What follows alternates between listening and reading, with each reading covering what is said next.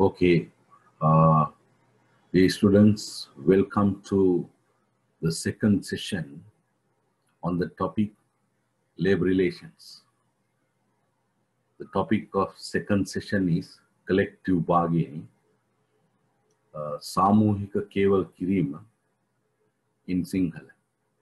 Also, there are several alternative terms in Sinhala. Samuhika Katikava, Samuhika Kevalaya, saha ಸಾಮೂಹಿಕ ಹೆಟ್ಟುವ collective bargaining. So these are the objectives or learning outcomes uh, expected as far as this session is concerned. Define what collective bargaining means. Know some subject matters of collective bargaining. Identify three types of collective bargaining structures and fourth objective, fourth learning outcome, know collective bargaining and understand how to do it from the point of management. From the point of management, not from the point of trade union, from the point of management.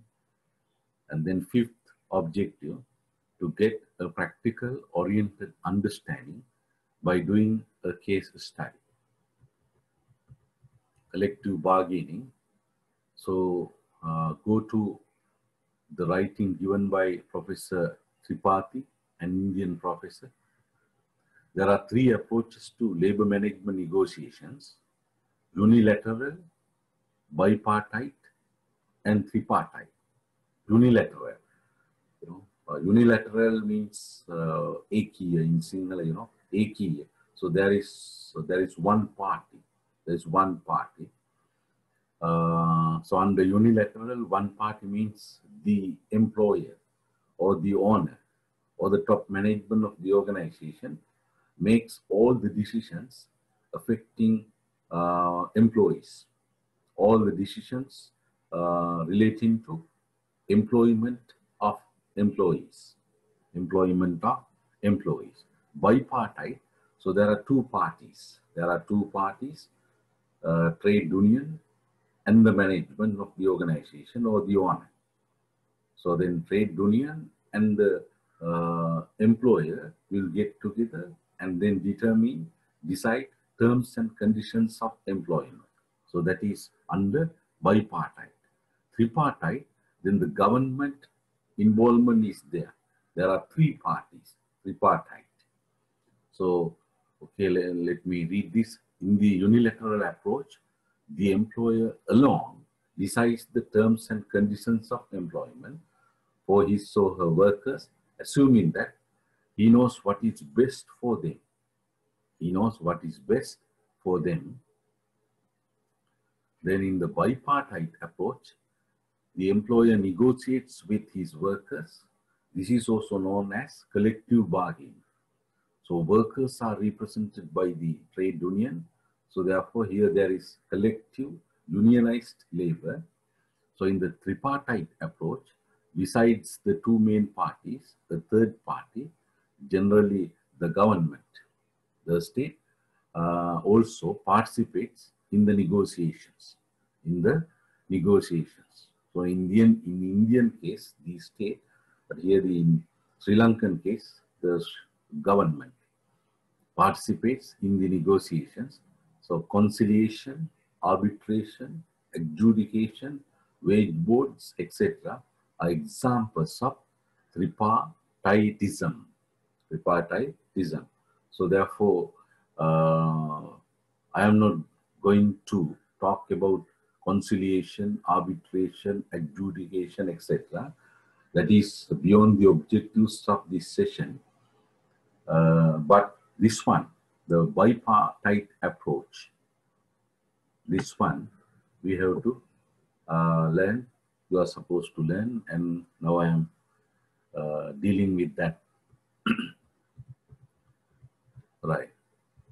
So then, uh, thus the bipartite approach to labor management negotiation is collective bargaining. Collective bargaining. Right. Definition of collective bargaining. After successful unionization of workers, that has been accepted by the employer, collective bargaining will have to be done. So that means the collective bargaining has to be done after successful unionization of workers. But this unionization has to be accepted by the employer for collective bargaining purpose. So without then without unionization, there is no need of doing collective bargaining. Collective bargaining. So therefore, please understand that collective bargaining happens in an organization where at least there is one trade union representing uh, employees, representing employees, usually non-managerial employees. Collective bargaining refers to a process in which employers' representatives and workers' representatives, employees, employers, sorry, harm putun, harm putun, harm putagi, letang, seva yojikyagi. Employers, representatives, their managers, and then worker representatives, that is trade union, meet, discuss, and attempt to negotiate about working conditions and terms of employment. Working conditions and terms of employment. The trade union, yes, the term collective uh, is used to the reason that the workers and the employer act as a group, act as a group rather than individuals working separately. So uh, I think you can remember uh, under the first session, I distinguish between two terms, personal relations and labor relations. Uh, when, you know, when considering personal relations, individual interactions happen, but when we consider uh, labor relations, collective interactions happen. Hence, collective bargaining involves group bargaining, but not individual bargaining. Right. The term bargaining is used because evolving an agreement involves the use of method of negotiations. So there is negotiation, there is negotiation. So that includes communicating proposals, then counter proposals, then discussion, compromise for mutual gain Mutual gain, අන්‍යෝන්‍ය ප්‍රතිලාභය, අන්‍යෝන්‍ය ලාභය සඳහා සපතයක්, compromise, compromise for mutual gain rather than confrontation. Rather than confrontation. What is the objective of collective bargaining? What is the objective of collective bargaining? It is to reach an agreement between the trade union and the management. In order to enhance level of well-being of the workers, but not only to enhance level of well-being of the workers, but also to but also to enhance the level of success of the organization, to improve the level of success of the organization by ensuring smooth functioning. Because the trade union and the management should work together. Collaboratively, they should work. If they don't work collaboratively, then there is no industrial peace. Instead of industrial peace, what we have is industrial unrest, where there are strikes, picketings, overtime bans, so industrial actions. Industrial actions which definitely hinder the productivity of the organization, effectiveness of the organization, efficiency of the organization. Therefore, we do need smooth functioning in order to achieve goals of the organization. Goals of the organization. So therefore, the purpose of or the objective of collective bargaining is to reach an agreement between the trade union and the management. The agreement that comes out between the two parties with regard to various matters is called collective agreement. Samohika Gyusum in Sinhala. Of course, it is a formal document that has to be signed by the both parties, the two parties.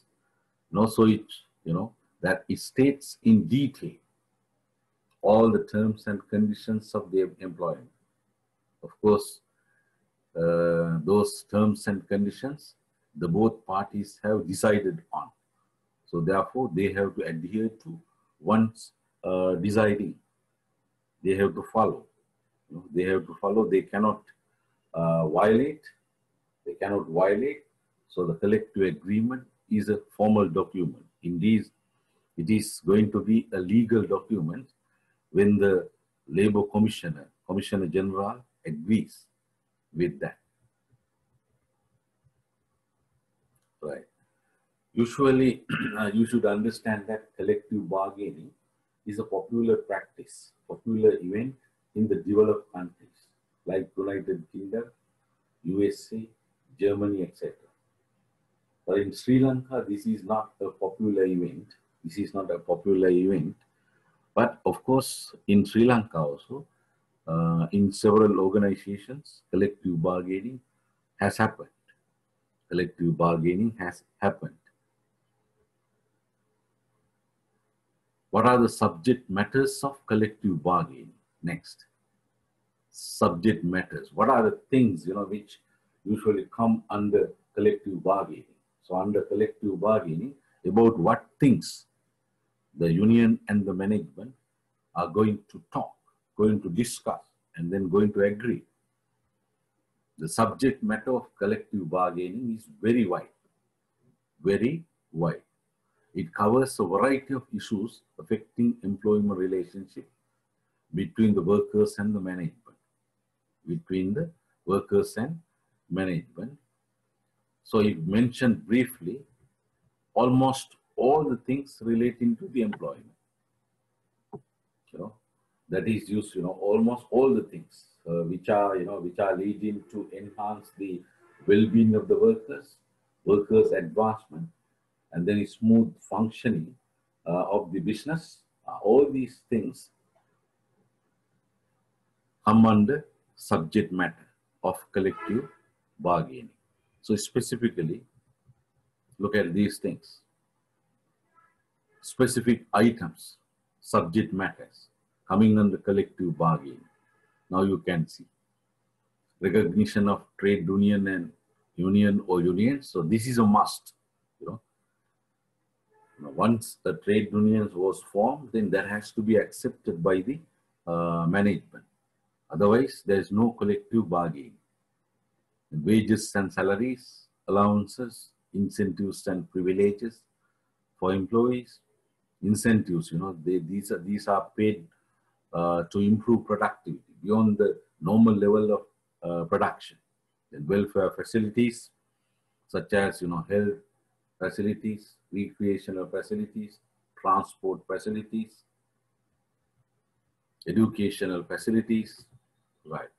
And hours of working, leave and festival holidays, bonuses and profit sharing, layoff, transfers and promotions, terminations, resignations, retirements, and employee provident funds and pension payments, pension payments, the discipline, employee health and safety, trainings, conflict settlement, conflict you know, handling, uh, grievance, you know, conflict, you know, when, when there is a conflict.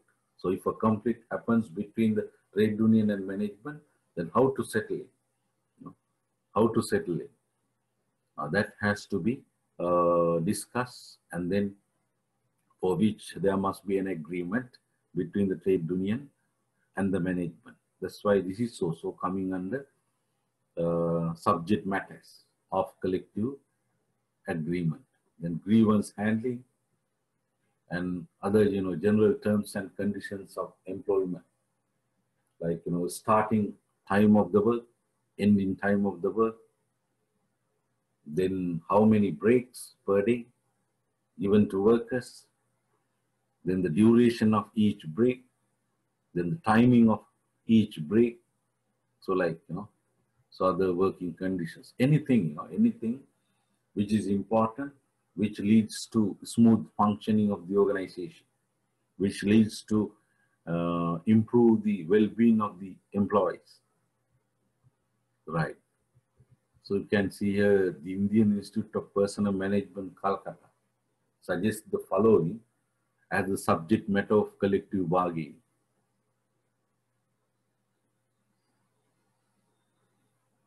Rights and responsibilities of the manager. So this is a very important thing. Rights and responsibilities of the management and also rights and responsibilities of the trade union. Right. Then types of collective bargaining structures. Types of collective bargaining structures. Basically, there are three types. First one, unitary bargaining, ekiya katikav, samohika katikav, eki. So here one trade union and one employer participate in the collective bargaining. One trade union and one employer. So lowest degree of complexity. So we can see and also within a, a shorter time, relatively, it is possible to uh, get the agreement or reach the agreement, that is the collective agreement. This type of bargaining takes place at the organizational level, at the organizational level.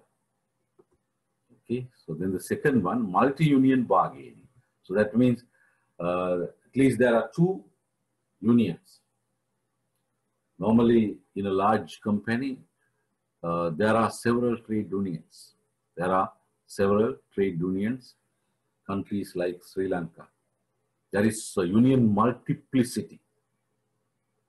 ඒ කියන්නේ වෘත්තීය සමිති බහුලත්වයක් තියෙනවා. So normally in Sri Lanka, almost all the trade unions are having a linkage with uh, various political parties. In a country like Sri Lanka, there are several, or if not many, so in fact many really, many political parties. Then there can be you know, many uh, trade unions, trade unions. So I know uh, in some companies, there are more than 10 trade unions, 10 trade unions. So there, therefore, this structure takes place between one employer and two or more trade unions. So this is the usual practice. In an organization where there are several trade unions within the same plant or at the different plants relatively the degree of complexity is higher, you know, compared with this one. Unitary bargaining, of course, the degree of complexity is higher because several trade unions are there. And it will take a relatively longer time for the settlement. You know, to come uh, to come to an agreement with one trade union is not that difficult. You know, coming or getting an agreement with several trade unions compared with that. Because they have, you know, different political ideologies, different objectives, then difficult to come, you know, to an agreement. Among the trade unions, you know, which have uh, different political objectives, different, yes, agendas, and multiple bargaining. This structure involves several employers as an employers federation, Amputungi Sangam, and as an employers federation, and then several trade unions as a union association. Urtiya Samiti uh, Sangvidana, union association. You know, several unions can get together and then start one big association. Uh, here the several employers can get together and then start an organization on behalf of them. That is called federation, employers federation. Now, relatively, the degree of complexity is highest as far as these uh, three types of bargaining structures are concerned. The, the, the degree of complexity is highest you know, in case of multiple bargaining. So because it, it has you know, associations. uh, which uh, represents uh, several trade unions, at least one association that represents several trade unions, and at least one employer uh, federation that represents several employers, several organizations. So it will take a relatively longest time for the settlement as many parties are involved. So this type of bargaining usually takes place at the industry level. Industry level, also it may take place at the regional level and the national level as well. Okay, so therefore collective bargaining can happen at the organization level, at the industry level, at the regional level, and at the national level. Right, next, the importance of collective bargaining. The importance of collective bargaining. So collective bargaining gives benefits to workers, managers, employers, trade unions, government, and general people in the society. Why? You know, as it is a good method of solving problems between labor and management. So when there are strikes, when there are picketings, when there are industrial conflicts between labor, that is organized labor, and management, so then it's very difficult to, you know, the, achieve the expected productivity. When in, in, in some cases, the demand, there will be a serious problem for the demand of the product or the service. Then the general people also, they are also going to be hurt. So remember that, you know, so then uh, if there are, you know, uh, if there is no good labor management relationship, then general people get suffered. The government gets suffered negatively, not positively. So therefore, collective bargaining, you know, serves almost all the parties in the society, workers, managers, employers, trade unions, the government, and the general people. If LMR becomes favorable, all concerned get benefited. So it's a system based on bipartite agreements. And it will be, yes, possible for unions and management to settle their problems relating to employment. Without participation of what? Without participation of outside, outside parties or outsiders, such as government or its agents, such as government or its agents. So normally, uh, look at this one, you know, this statement, Professor Singh and others. Collective bargaining helps to promote cooperation and mutual understanding between workers and the management. Between the workers and the management. It provides a framework for deciding the terms and conditions of employment without resource to strikes and lockouts and without the intervention of outsiders. So it is good, you know, to settle problems between the management and the trade union within the organization without giving problems to outsiders, outsiders.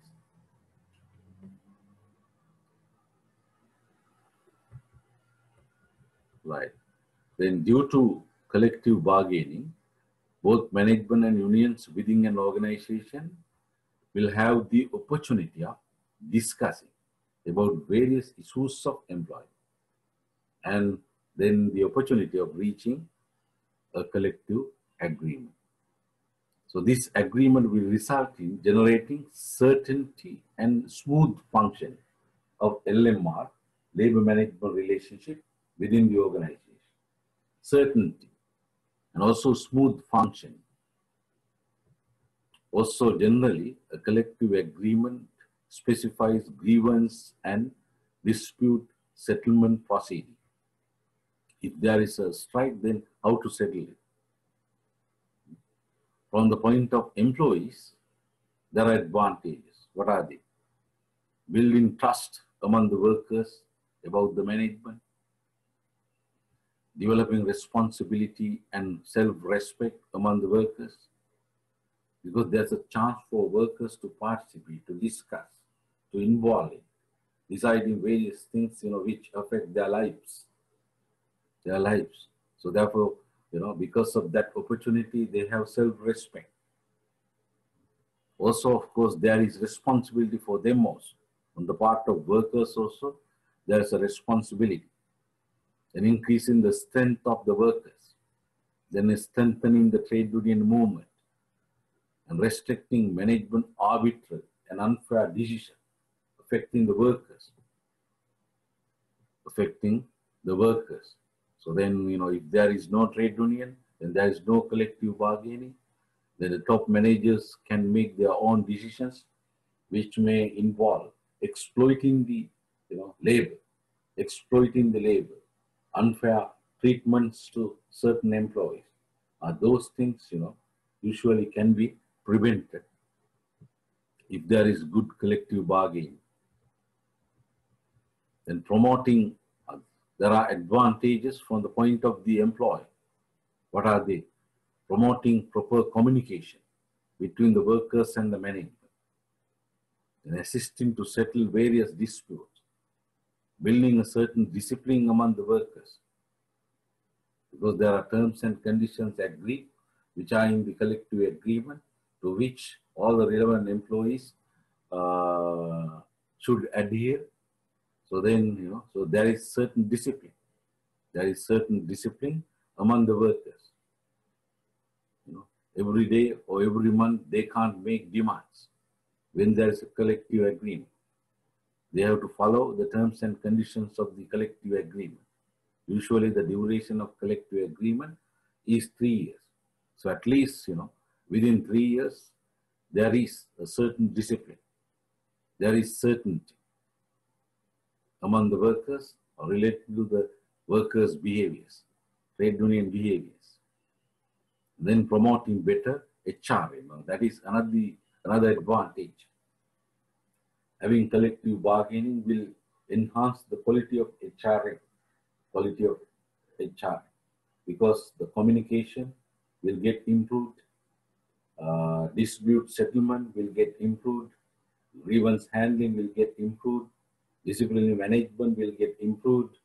So therefore, all these things will contribute to um, make HRM better.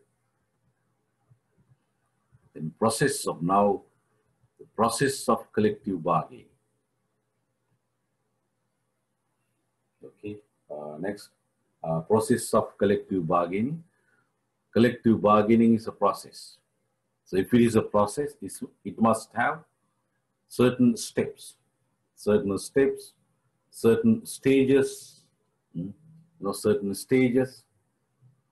Right, so now I am going to show you a figure that uh, gives the collective bargaining process from the point of management, from the point of management.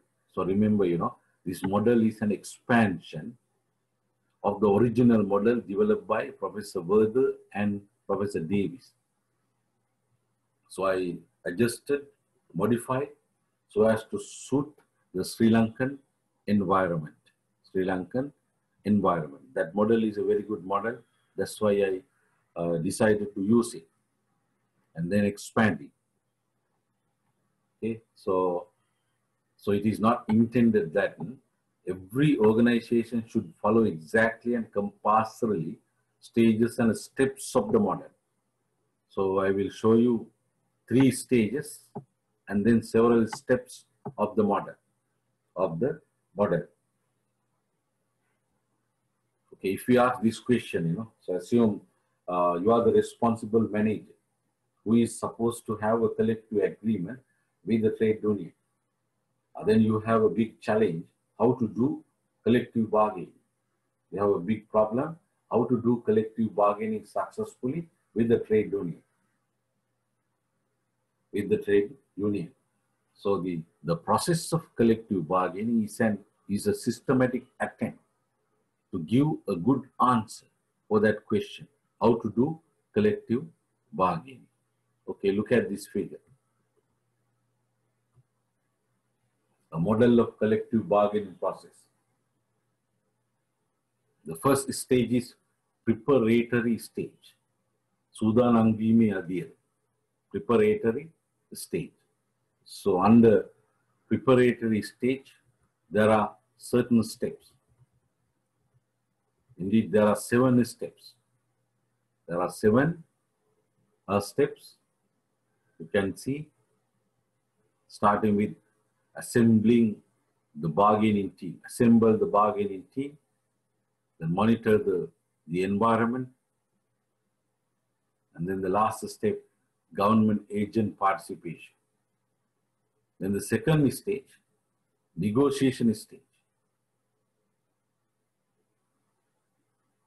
Gives a ganime adir, negotiation stage. That has uh, four steps. Discussion, reach an agreement, approve the agreement, and legalization. Legalization. Then the third stage, that is administration stage. Paripalana. Administration uh, stage. So that has uh, three steps. Communication of the agreement, adjustment, ensure union and management compliance. Okay, so you can see then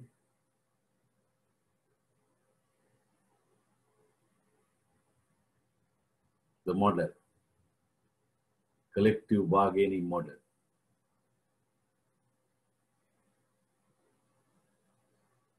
Three stages, preparatory stage, negotiation stage, and administration stage. Altogether, how many steps? Seven plus uh, four, then 11, right. 11 plus three, then 14. So there are altogether 14 steps. 14 steps. So remember this model is from the point of the management. What is that from the point of the management? How to do collective bargaining on the part of the management. So therefore, this is a useful model for the manager or the human resource manager to do collective bargaining with the trade union successfully. Successfully. Okay, now uh, let me uh, describe each step. The first one, under the first stage, that is preparatory stage, assemble the bargaining team. So preparation, a preparatory stage, Sudanang Vimi Adir. Sudanang Vimi Adir. Uh, so here the, the management has to, you know, has to get ready for the collective bargaining. The management has to get the get ready for the collective bargaining. That's why preparation, preparation. So in fact, planning for uh, collective bargaining. So under preparation, the, the management has to deal with planning. Planning. Right. The first one, assemble the bargaining team. In Sinhala, කේවල් කිරීමේ කණ්ඩායම තීරණය කරන්න. Okay, the first, it should be decided that who or what management representatives on behalf of the management participate in collective bargaining with the trade union. Who is going to discuss with the trade union on the part of the management? Uh, that has to be decided. Generally, the human resource manager takes the leadership of the team. Takes the leadership of the team because human resource manager is the manager who has a very good understanding about trade union matters, HRM matters. Ideally, the human resource manager should be, you know, should be a highly competent person about HRM matters, including trade union matters, labor laws, relevant labor laws. So therefore, the generally the human resource manager takes the leadership of the team. In addition to human resource manager, several managers can be appointed to work, uh, yes, under this team.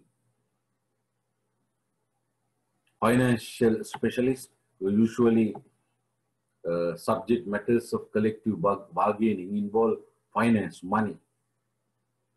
If not all the subject matters, but several subject matters involve finance. You know, very important subject matter under collective bargaining is wages and salaries. Deciding wages and salaries, wage and salary increments, welfare facilities, welfare insurance schemes such as, you know, welfare facilities such as insurance schemes, transport schemes, educational schemes. So which, you know, involve finance, money. So therefore, a financial specialist or finance manager, then the legal specialist, you know, who has a good understanding about various labor laws, contracts, law, then one or two line managers, you know, line managers, you know, who have a well understanding of business matters, the works of the business.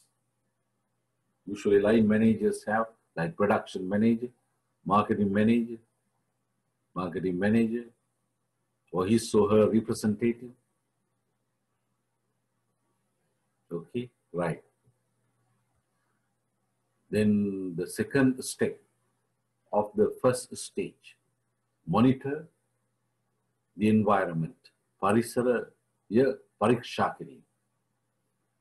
What is this? Monitoring the environment means that the bargaining team checks internal and external environment so that hints, clues about likely union demands likely union demands. What is this? In Sinhala, Urti Samiti Visini, Diripat Kalaki, Illi, Illi, Illi Pilibanda, Hodua, hints, clues about likely union demands for the bargaining out thing. Because you know, uh, it is essential for the uh, bargaining team to know likely union demands. At the bargaining table, in reality, you know, what will be the demands presented by the trade union. If the bargaining team can understand these demands, and then the bargaining team will be able to, you know, propose good solutions, right solutions for the benefits of the entire organization. You know, trade unions, they may have political objectives, they may, you know, uh, present unfair decisions, unfair demands. Not decisions, yes, their own decisions, yes. They may not be uh, agreed by the management, but unfair decisions, unfair demands, they may present, which may, which may, you know, destroy the smooth functioning, uh, functioning of the organization, the finance of the organization, some demands, you know, the organization may not be able to afford, may not be able to afford, right? So the, uh, so that's why, you know, so the monitor the environment in order to uh, know likely union demands, likely union demands. Then several sources, what are the sources, you know, that are available for the use of the bargaining team for the purpose of finding clues or the hints. Look at here. So you can find several sources. Promises given by the trade union leaders at the time of unionization. For example, you know, increasing salaries by 25%. Uh, that may be a promise. Then starting, a, you know, uh, asking for a health insurance that may be a promise. That may be an example of a promise given by the union leaders. So these promises are going to, you know, are going to the table when actually the collective bargaining happens. Okay, so the promises will become uh, like union demands. Then the demands not won at the last bargaining if the union is one that has already established. assume uh, at the last bargaining session, the trade union presented uh, 10 demands, but only seven demands were met. Other three are remaining. Then most likely, these remaining three demands will come to this time. This time. For example, assume uh, union, you know, uh, union wanted to get a scholarship program for children of uh, workers. But the management did not accept that and turned down, owing to some reasonable reasons, including uh, lack of uh, finance. This time, that demand most likely comes to the bargaining table. The demands one or being presented currently by trade unions in other organizations, other competitive organizations in the industry. In the industry, assume the industries, uh, printing industry, printing industry. Then recently, assume one trade union in a competitive organization, competitive organization could win several uh, demands, several demands, several demands, including a special, uh, what, the special recreational uh, facility, recreational facility, you know. What is, what is recreational? Normally, the so, you know, pursuit of pleasures, enjoyment facilities. Assume three, three, uh, three uh, trips per year. So the again, we know the we know the Charika trips. Three trips per year assume that uh, that trade union of the competitive organization could win. Uh, then our trade union also uh, assume they our trade union was able to know about this winning and then uh, our trade union may take that as a lesson and then uh, may present the same demand. then checking of national general inflation rate, cost of living, etc. So now it's more likely that the trade union presents a demand for wage increases because cost of living is high. Of course, when there's a, a severe national general inflation, now when a severe national general inflation exists, most likely there will be a demand coming from the trade union to increase salaries salaries. So therefore, you know, we can check, I mean, the bargaining team, they means the bargaining team, bargaining team can check the, the level of inflation, the nature of the cost of living, the changes relating to cost of living. Okay, so if there is a genuine significant increase of cost of living, most likely the trade union will have a grievance on that, will have a demand for that. Then workers' grievances expressed and unexpressed. The use of grapevine, you know, informal communication. Talking to several workers informal. The bargaining team can do that. The human resource manager. Usually human resource manager is a manager who is having good relationship, at least with certain employees ideally with all employees, but at least with certain employees, practically. Then by talking to such, you know, uh, friendly employees, it may be possible for the human resource manager to, uh, you know, uh, know likely union demands.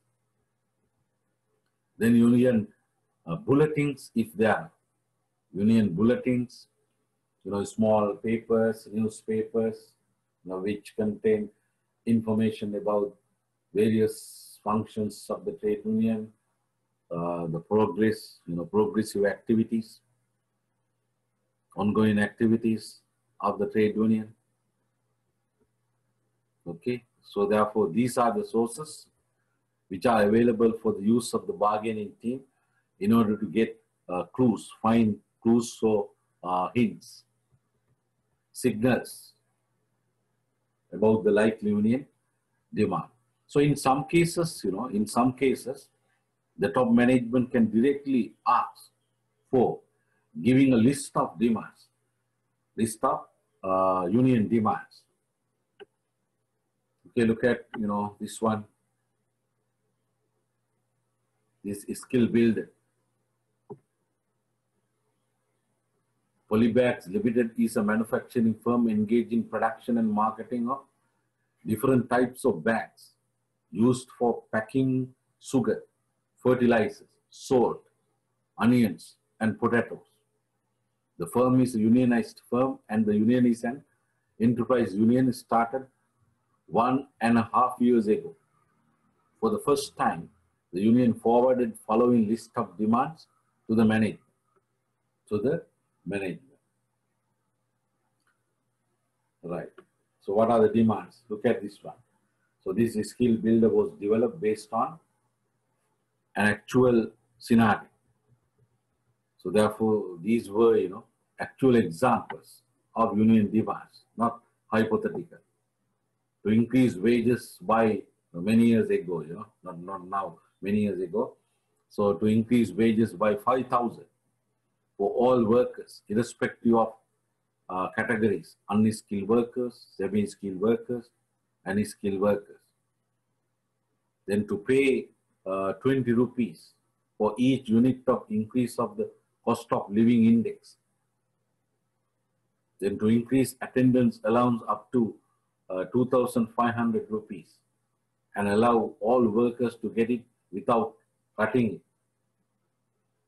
Then to double the incentive on the basis of daily production for workers. Then to pay food allowance according to the prices in the canteen. So likewise, you know, even to give a break first with tea without any charge. You know, so these were uh, some examples of union demands. So therefore, you know, the, the, the, company, the, the top management of the company can ask for a list of union demands. Then of course, uh, easy, no need to, you know, put an extra effort to find out uh, clues and hints about the likely union demands. If the management can, the bargaining team can get the list of demands, the actual demands of the trade union, then it is easy for the bargaining team to get ready to deal with the demands, deal with the demands.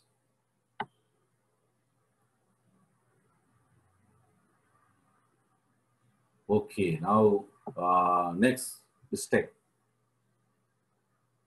Third step of the uh, first stage, preparatory state.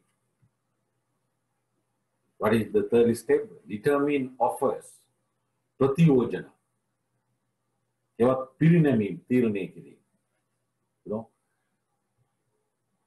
What to be done in, the, in this step is this. To decide on management's counter proposals. Pratiyojana what management can give for estimated likely union demands. Okay, so assume this, you know, the team expects a demand. If the team expects a demand of wage increase about 25%, then it will have to determine whether this 25% can be paid or not. Then if paid, or whether an increase can be paid. Forget about first, 25%.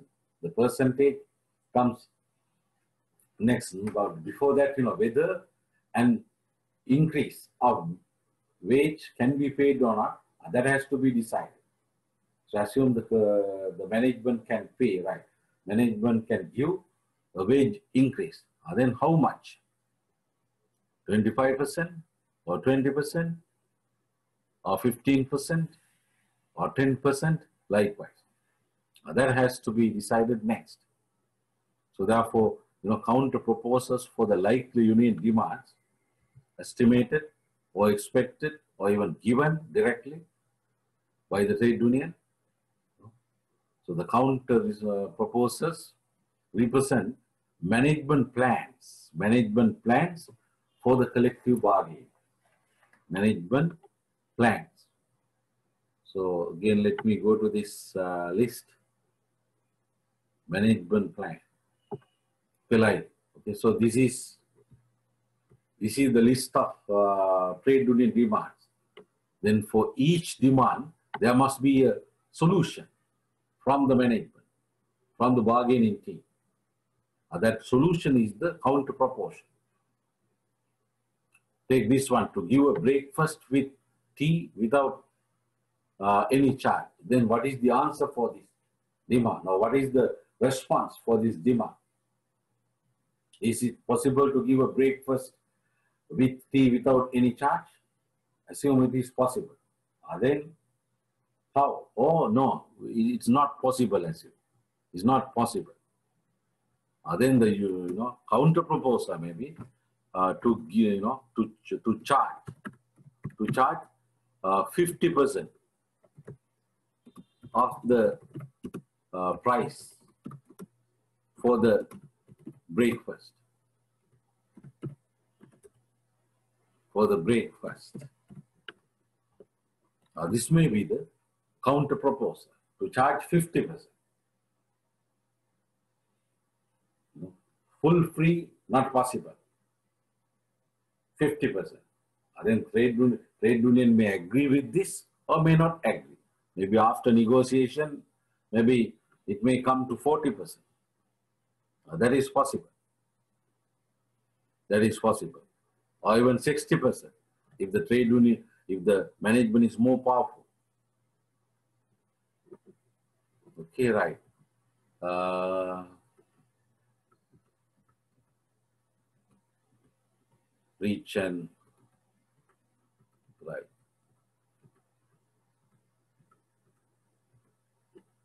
Yeah, yeah. Determining of us. And then fourth step. Determine time, place, and rounds.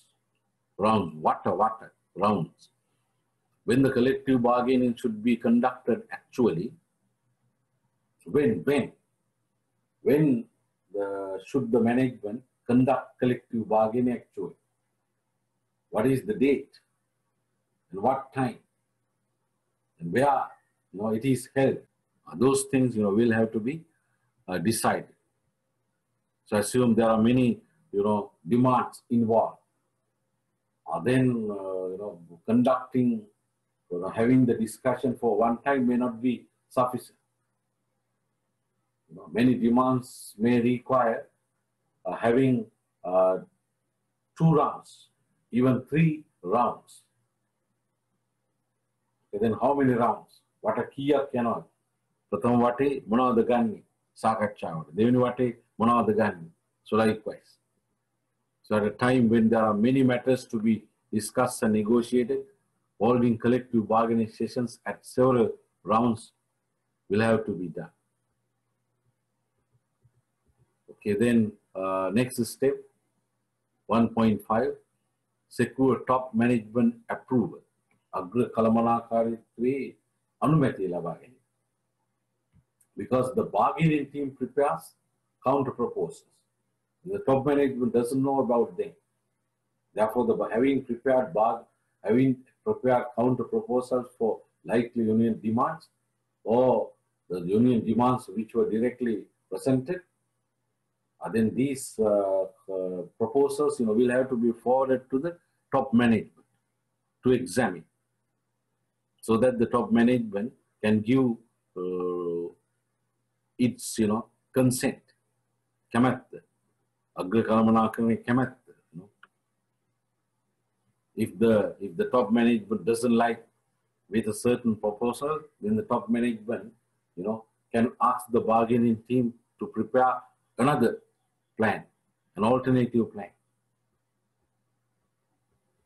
right then for 1.6 check union actions. Check union actions. What is this? වෘත්තීය සමිති ක්‍රියාමාර්ග පිළිබඳ පරීක්ෂා. වෘත්තීය සමිති ක්‍රියාමාර්ග යකට ඇති ඉඩකඩ පරීක්ෂා කරලා බලන්න. So assume, you know, certain demands the management doesn't like to meet. Certain demands the management doesn't like to meet. For example, hey, let's take this list. Right, uh, to increase attendance allow. so assume, you know, the, okay, this one, to increase attendance allowance up to uh, 2,500. So the management doesn't like to, you know, allow all workers to get it without cutting. All workers to get it without cutting. So assume that the union demand is this. It doesn't matter whether the employee, you know, uh, gives the full attendance or not. That employee has to be paid with the attendance allowance. Assume that is the demand, you know, with which the management doesn't like to agree.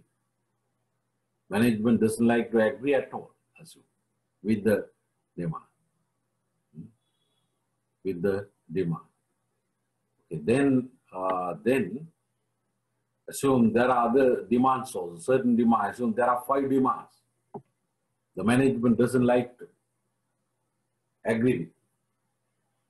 Uh, then, you know, the, the, if the management doesn't like to agree with them, then the management should check whether, you know, the union can launch a strike because of not meeting, not agreeing with uh, such demands. You know, What is the what is the strength of the trade union? Is it possible for the uh, you know the trade union to start a strike to influence you know its members and then you know gets the higher participation? Is it possible for the trade union to get the higher participation of its members for for for the strike? So okay, so the manage so assume the severe assume the support to the trade union is very high. The support of the members of the trade union is very high.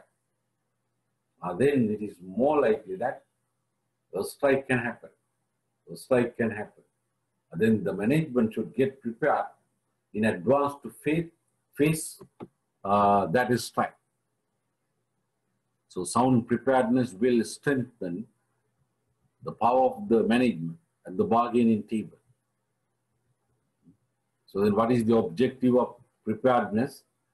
The objective of preparedness for strike in advance is to minimize possible loss to the organization. Possible loss to the organization. Okay, so then uh, assume, you know, if, if there are workers who are not members of the union, so it may be possible to utilize them to work continuously to meet customer demands, at least to a certain extent. As you know, assume uh, next month, you know, there, you know, there will be the strike, assume. Then within this month, assume there are another, uh, there are two weeks yet to finish the this month. Uh, within these two weeks, the management can have you know, so a special plan to get the production done. Get the production done, done, that is another preparation, another preparation. You know, to get the production done through the uh, employees who are not members of the strike, uh, that is another plan. That is another plan.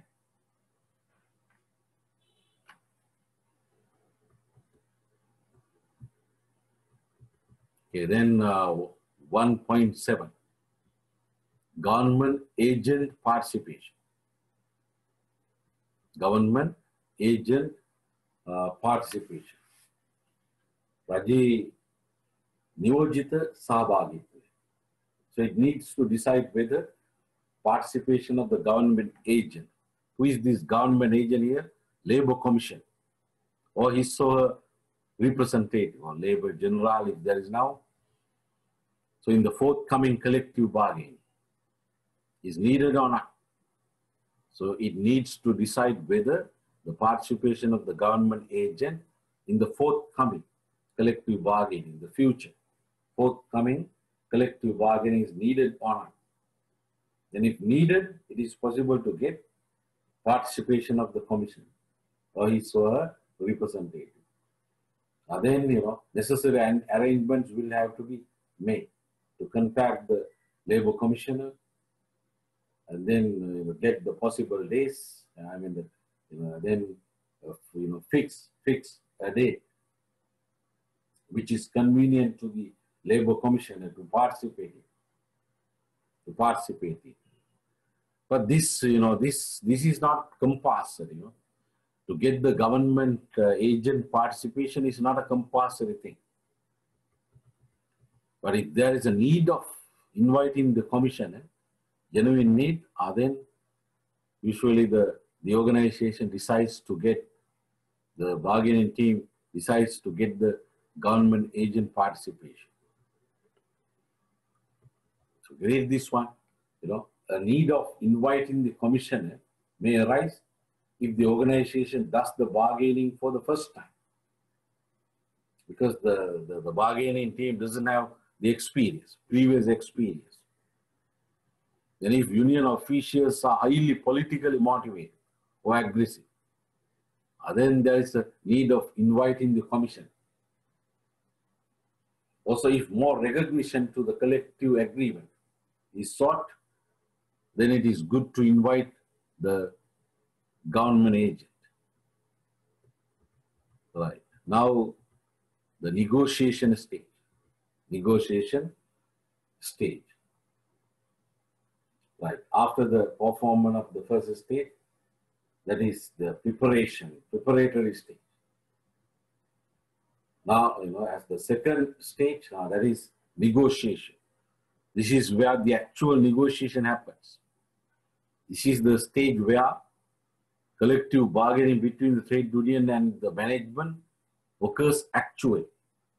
So achieving a collective agreement after careful discussions happens in this stage, in action, in this stage. Right. This stage has uh, four steps to be followed, sequencing.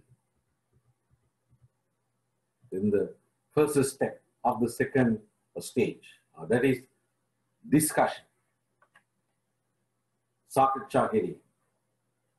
Sakacha hearing. Okay, of course, this has to be done as planned under the first stage. So discussion should be made separately with regard to each matter. If there are 10 matters, then of course 10 discussions, specific discussions. The management should approach to the discussions with, of course, cordial mind, not with rage, fury, you know, hostility, hostility even cordial mind.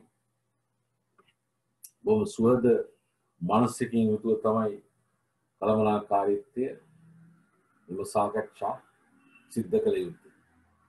Face-to-face bargaining commences and the management should be able to handle this face-to-face bargaining by working systematically and intelligently because the purpose of collective bargaining is to make an agreement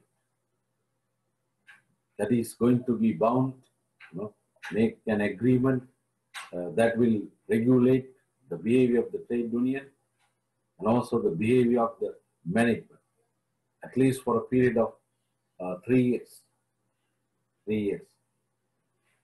So therefore, you know, the, this, the cordial mind without the intention of retaliation with rage, fury, simple the anger. The discussion should not be done.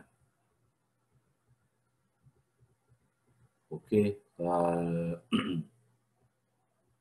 right. Emotional intelligence, you know, bhavatmaka buddhi. That's very important here. In addition to cognitive intelligence. right? Uh, reach an agreement. Second step of the second stage. Reach an uh, agreement. Here both parties, you know, will come to an agreement having discussed in detail and also in educated way with regard to the relevant matters. This agreement needs to be shown in writing, written document is needed. Of course, document is written, so therefore written agreement is needed. This written agreement is called collective agreement, which specifies, you know, all the relevant policies, procedures, terms and conditions, uh, responsibilities, and you know, uh, rights of the each party. So that's the framework which governs behavior of the trade union, the management, until such time is specified in the agreement. So usually three years. Okay, then third step of the second uh, stage, approve the agreement. Because, you know, this uh, discussion, agreeing, uh, those things happen between the trade union and the bargaining team, not with the top management of the organization. Usually top management doesn't participate. The top manager doesn't part participate in the discussion. So therefore, it is important, it is essential, not, it is essential that the, the agreement is presented to the top manager to get its consent, approval.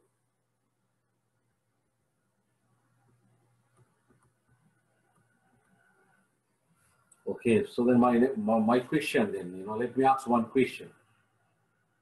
Why uh, is it not good to uh, invite the top manager of the organization to participate, to participate in the uh, bargaining table, in the bargaining. Why? That's an important question. That's an important uh, question. So one reason is normally the top manager is not aware about the grassroots level matters. Also, the top manager is not aware about you know uh, the, the, the art and science of collective bargaining. Collective bargaining. There's a huge art and science of collective bargaining. So to, to discuss details of collective bargaining is beyond the objectives of this session. Such things are for uh, students who specialize in human resource management. You know, there are different types of bargaining, distributive bargaining, uh, integrative bargaining. Then there are various techniques, you know, coming under bargaining. Tactics, techniques, principles, there are. Okay, so so therefore, one reason, you know, the top manage, top manager is not aware about grassroots level matters, you know, down matters. The top manager is very busy with the strategic planning, strategic matters. And also, you know, so assume uh, there's a very big demand, you know, not expected by the bargaining team, came to the bar, bargaining table, unexpected demand. Then the bargaining team, you know, uh, didn't prepare and also bargaining team is not having a counter proposal for that unexpected demand. So therefore the bargaining team needs a time to study, time to discuss, and also to get the, uh, you know, uh, yes, time, you know, the bargaining team needs to have a sufficient time to study that matter. Then there's a need of postponing uh, the discussion about that unexpected demand, adjourning, postpone. Uh, then as an excuse, you know, the, the bargaining team can tell, you know, we want to discuss with the top manager. Top manager is not with us now. So therefore, you know, uh, to discuss about this matter has to be postponed. Has to be postponed for the next uh, round, for the next round. Did you understand what I say? අපිටම කියන්නේ වෘත්තීය සමිතිය අනපේක්ෂිත ඉල්ලීමක් ඉදිරිපත් කර. ඒකට කොහෙත්ම සූදානම් වෙලා නැහැ බාගේනින් ටීම් එක. හිතුවත් නැහැ එහෙම ඉල්ලීමක් එයි කියලා. අන්න දැන් දැන් එතකොට ඒ ඒ සම්බන්ධ ස්ටඩි එකක් කරන්න. ඊට පස්සේ තමයි සාකච්ඡා කරන්න. අන්න ස්ටඩි එක කිරීම සඳහා කාලය අවශ්‍යයි. ඒ නිසා කල් දාන්න ඕනේ. කල් දැමීමේ අවශ්‍යතාවයක් මතුවෙනවා ඒ ඩිමාන්ඩ් එක ඒ ඉල්ලීම පිළිබඳ සාකච්ඡා කිරීම. ඒකට හේතුවක් හැටියට සඳහන් කරන්න පුළුවන් අග්‍ර කළමනාකරණයේ සහභාගී වෙන්නේ අපිත් එක්ක. අපිට අනිවාර්යයෙන්ම අග්‍ර කළමනාකරණයත් එක්ක සාකච්ඡා කරන්න ඕනේ. අග්‍ර කළමනාකරණයේ අදහස ගන්න ඕනේ. ඒ නිසා කල් දාන්න ඕනේ. ආයතන කල් දැමීම තුළින් the bargaining team එකට පුළුවන් you know the, that will get a sufficient time to study the matter and then hopefully the bargaining team will be able to develop a good you know demand good counter proposal a good plan for the demand that is good for the business okay so therefore usually then the top manager is not allowed to participate in uh, the bargaining table then fourth step, that is legalization. That is uh, legalization. What is this? Nitigata in Sinhala. Once the agreement is accepted by top management and union members, then they have to sign. Both parties know, will have to sign. Then after signing, you know, it will become a formal document between the management and the trade union and that there has to be forwarded to the labor commissioner who will examine its content, the purposes and all these. That if the commissioner agrees with them, the commissioner will, you know, publish it in the government gazette. After publishing in the government gazette, the collective bargaining will become a legal document. Legal document. So once it is published in the gazette, it will become a legitimate document that is binding on both parties. Both parties are supposed to adhere to each term of the agreement, each condition of the agreement. If broken, then the relevant party is going to be punished.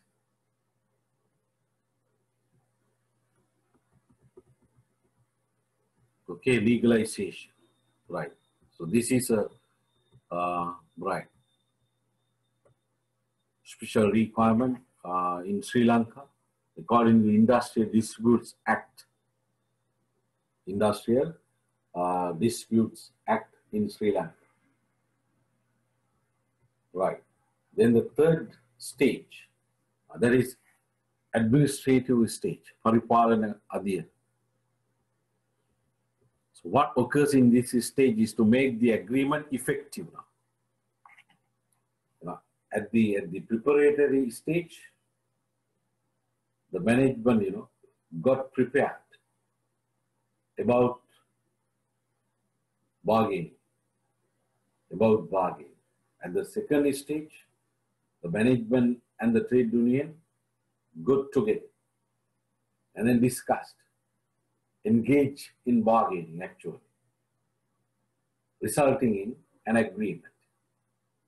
So now at the third stage, this agreement needs to be implemented, needs to be effective. So it means that controlling day-to-day functioning of both parties in accordance with the terms and conditions of the agreement. Okay, there are certain steps which are three, yes, three uh, steps under this stage.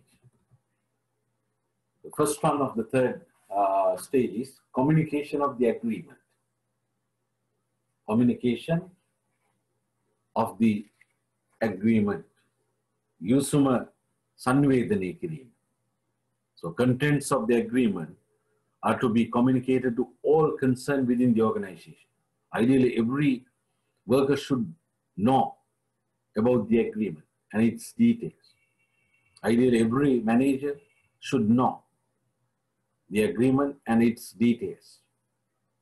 Ideally, okay, ideally. So without such extended communication, it is not possible to expect that every organization member's behavior complies with the agreement, complies uh, with the agreement. So especially the agreement needs to be communicated to line managers, otherwise they may break.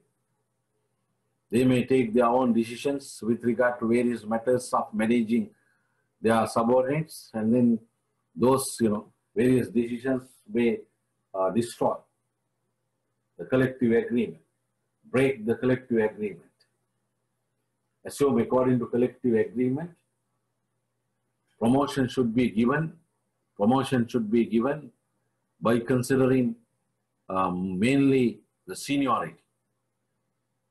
By considering mainly the seniority according to the agreement. If there's a line manager who considers merit instead of seniority and gives uh, promotions, that is against the collective agreement. Therefore, the relevant line manager should know that uh, promotion should be given mainly based on seniority. Okay. So assume according to the agreement, there are 100 marks uh, when giving promotions and then 50 marks have been allocated for merit, 50 marks have been allocated for the seniority. Okay, so then all the people, relevant people should know about. Then how to do, uh, you know, how to do this communication. Of course, through one day workshop, lectures, personal notifications, internal bulletins, uh, they can be used as modes of communication. Then uh, step two of the third stage, that is adjustment, Galapuma adjustment. Some changes will have to be made to policies, procedures, rules, regulations, methods, etc. You know, they are being currently followed by the organization. Because of what? Because of the decisions of the collective agreement. For example, assume uh, up to now, you know, currently uh, for grievance handling, the open door policy is being practiced for uh, grievance handling by the organization. But after the agreement, now the company is supposed to practice the formal grievance settlement procedure. Formal grievance settlement procedure. So therefore, the open door policy has to be abolished and then the formal uh, grievance settlement procedure has to be established. Has to be established. Okay, even the salary adjustments, new salary adjustments, new percentages, you know, came assume after the, the agreement. Are they, you know, so then all uh, percentages, all the all procedures for paying salaries you know, will have to be changed. Right. Now, the third step of the third stage, ensure union and management compliance. ವೃತ್ತೀಯ ಸಮಿತಿ ಸಹ ಕಳಮಣಕಾರಿಕೆ ಆ ಥರ ಇಕ್ಕಗಾಕ್ಕೆ ಸಾತಿಕ್ಕರಗಣಿ For what? For what? To follow the terms and conditions of the agreement not to violate any term and condition of the agreement. That's the final step. Okay, so both union and management should work without violating the agreement. A major role, you know, has to be played by the HR department. Okay, so in this contest, the HR department will have to play a special role. It should be alert whether, you know, about whether something happens against the agreement. So if it happens so, summarily, you know, summarily, immediately, the HR department should take actions to stop it. Otherwise, you know, uh, it will give advice, suggestions, recommendations to the relevant managers to take actions to stop it, or otherwise, you know, it should give advice, suggestions, recommendations to the relevant managers. Okay, all right. By detailing the process of collective bargaining is over now. I hope you understood the process.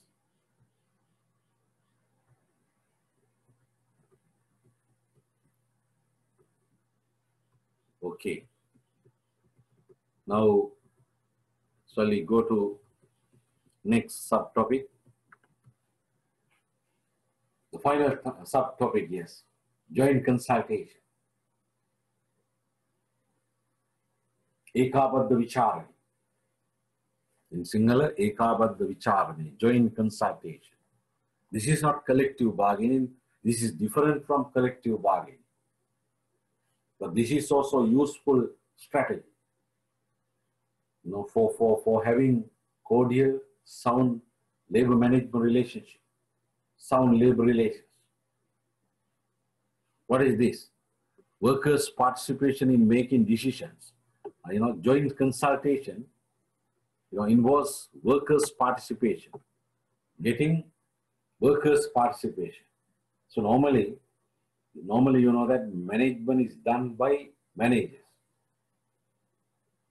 The managers make decisions about various aspects of the organization, including aspect of managing people at work. That is HR. That is HR. Usually, HR decisions are made by managers made by managers. But because of uh, industrial democracy, because of uh, the need of having industrial peace, industrial peace, the concept, you know, workers' participation came. Seva Gayaka Sabhagitvi, Sevaka Sabhagitvi. That's why trade union came, the trade union, trade union involvement. Trade, trade union involvement. So therefore, normally the terms and conditions of the employment should be favorable to the workers. If they are favorable to only the employer, that is not fair. That is not fair. So a simple example, you know, uh, number of hours of working per day, number of hours of working per day. So the decision to, okay, what is the decision with regard to that? Number of hours of work.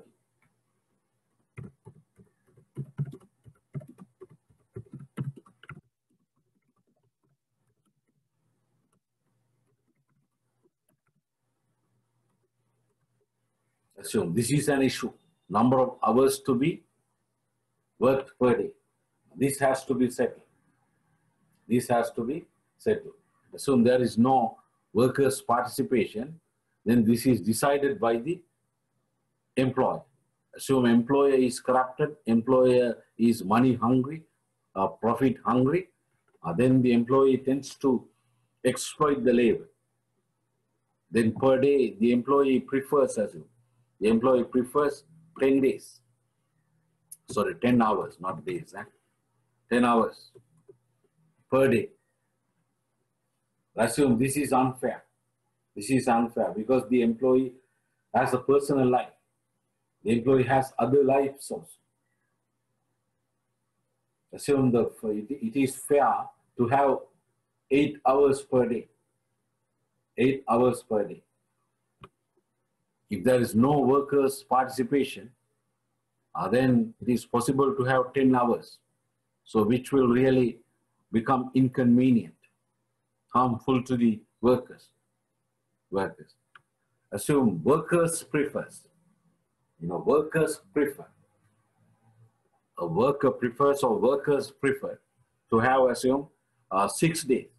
Not six days, huh? six hours. Six hours to work per day.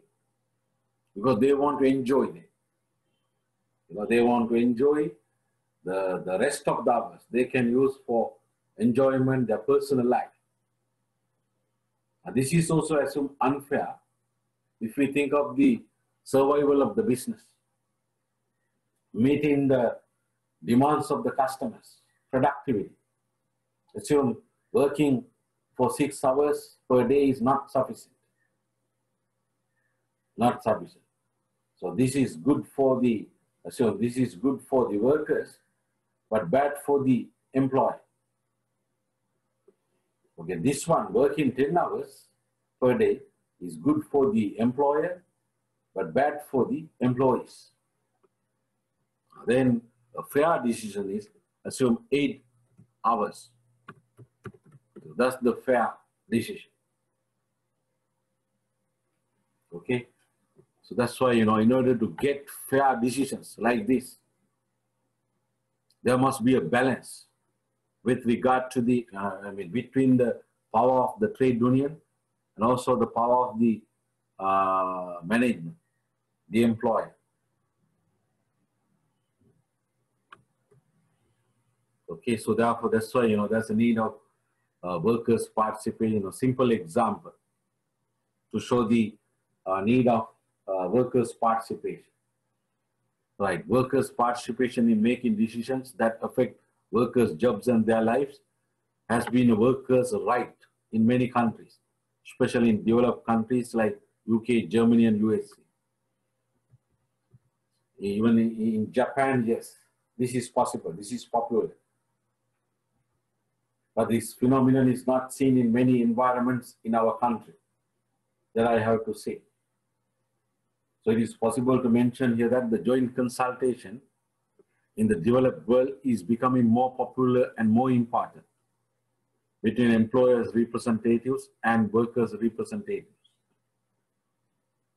The joint consultation can happen in an organization which is unionized, also can happen in an organization which is not unionized. So it doesn't mean that, you know, it means that there's essentially, I mean, to, we, we have to have trade unions to implement joint consultation. Now, without trade unions also, we can do joint consultation. But remember, without trade unions, we can't do collective bargaining. And reaching a collective agreement, it is not possible to do without trade union. But here, joint consultation, without trade unions, we can do that. With trade unions, we can do that. Right, what is a joint consultation? That refers to an activity of obtaining workers' ideas and comments before making decisions that affect them.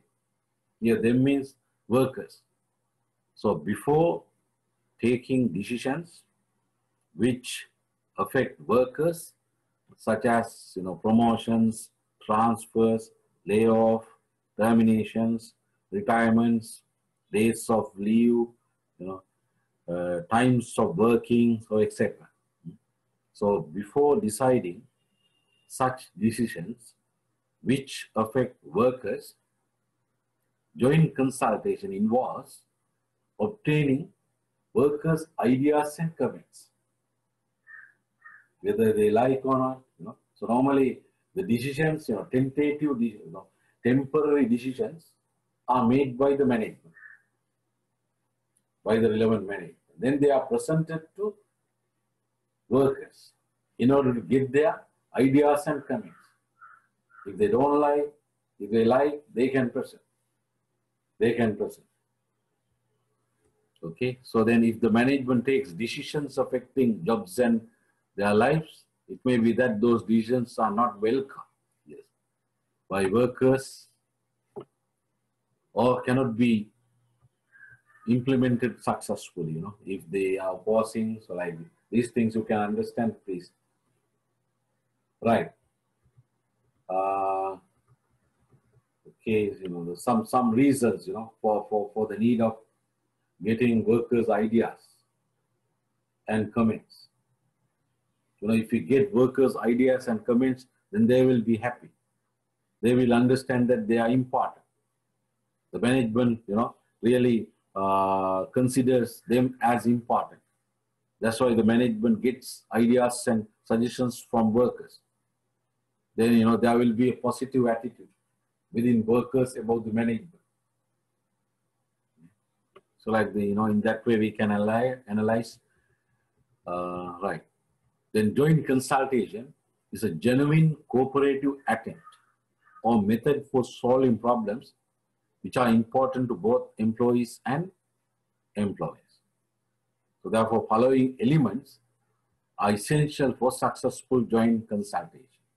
Because under joint consultation, You know, the management is going to get ideas, comments, even proposals, you know, uh, about decisions with regard to certain issues. The management is going to get from workers. For that, you know, one thing is the management acceptance. Then the, every relevant manager must accept that. Getting comments and ideas from workers before making decisions affecting them is a worker's right. That is a worker's right. So then every manager, especially the top managers, should accept that. If top managers should not accept this, what is this? Getting comments and ideas from workers before making decisions affect them is a worker's right. If there are top managers who do not accept this worker's right, of course, it is not possible to implement job, cons, you know, joint consultation, joint consultation. The management acceptance of that workers can give a significant contribution to decision making and value of that organization, especially top managers or the top managers. Okay? So especially the top managers should think that the workers you know, are capable. They also can give a significant contribution to decision making and value of that organization. They also know problems. They also know possible solutions. They are also experienced, they also educated, so likewise. That acceptance should be there for successful implementation of joint consultation. The management willingness to listen to workers suggestions and criticism. So normally, there are many, you know, normally managers do not like to look, listen to workers' suggestions and criticism, but they think that they are more educated, more experienced, they are more important, they know how to manage. Normally, workers are not managers, who don't have managers, management education, management experience, they don't know how to make decisions. They don't know how to give good suggestions and criticism. So normally managers think like that. So that, you know, thinking has to be changed. So therefore manage, managers, you know, must have the right willingness, the willingness to listen to their subordinates. Then workers' acceptance also, another thing. Expertise of management. The workers should accept that, you know, the expertise of management. The managers, there are managers who are expert in managing. For example, HRA Workers should understand that HR manager, assume, is a real expert in HR. So therefore, workers should accept that. Workers, you know, should, should understand that they might be or may be able to make some comments with regard to HR decisions. But they don't know how to, you know, really make right HR decisions, how to really develop policies, procedures, and rules of HR. To develop policies, procedures, and rules of HRA, you know, there must be a real expertise in HRA. Workers should understand that, should accept that. Okay, right. Working together by both parties, indeed, that should be the readiness of one party to consider opinions and objectives of the other party, then communication of what is happening and what has happened under the joint consultation to all workers and managers, open communication, extensive communication without hiding certain you know, details. Right. Okay, then uh, for the purpose of uh, implementation of joint consultation with the organization, it is, you know, there's a need of appointing a committee. You know, there's a need you know, for appointing a committee or to appoint a committee. That committee will consist of representatives from workers and also representatives from management. Two or three managers, two or three workers, or maybe uh, five managers representing five sections of the five departments of the organization. And then maybe 15 workers representing all the, you know, sections of the organization. And in case of a large organization, There may be several committees, you know, at the unit level, department level, and the organizational level. Right. So remember that you know the, the these you know these committees, you know, the, the joint consultation committee, you know, the representatives for a joint consultation committee, the representative from workers are not you know necessarily trade union people. You know, in a situation where it is unionized, assume you know we consider an organization which is unionized, and then uh, then there is collective bargaining also, and joint consultation also.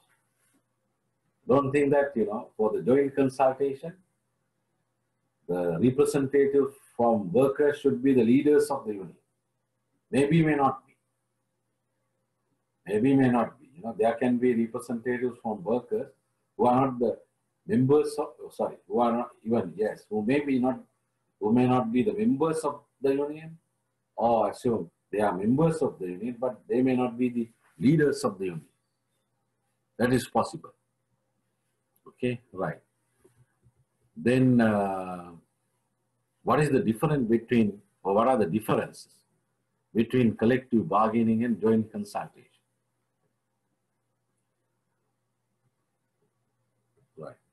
Look at this one. The objective of collective bargaining. By objective, you know, we can differentiate between collective bargaining and joint consultation.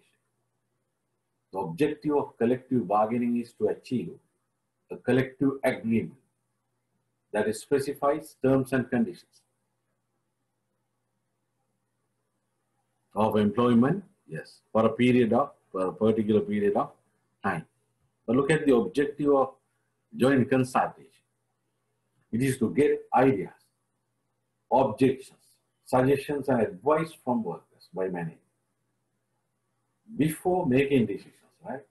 Before making decisions affecting workers in order to ensure industrial peace, yes, in order to avoid industrial unrest. So therefore, the object, you know, the objective of joint consultation is to get ideas, suggestions from the workers before making decisions affecting them. But the objective of collective agreement is, sorry, collective bargaining is to achieve a collective agreement. Not, not getting ideas and all, to achieve a collective agreement that will really regulate the behavior of the trade union and the behavior of the managers for a period of at least three years. Then what is the result of successful collective bargaining? The result of successful collective bargaining. It is the creation of a collective agreement. There has to be honored, there has to be followed by both parties. But what is the result of successful joint consultation? That's the creation of a collection of information for the purpose of making decisions, not really a collection of decisions, you know, collection of information for the purpose of making decisions which are more acceptable and easier to implement. Decisions are made by the management. Final decisions are made by the management, not by the workers. But before making final decisions by the management, under joint consultation, collecting information from workers is there. Okay, right. And under collective agreement, both will take a decision jointly over an issue. However, under joint consultation, final decision of an issue is made by the manager. Okay, all right.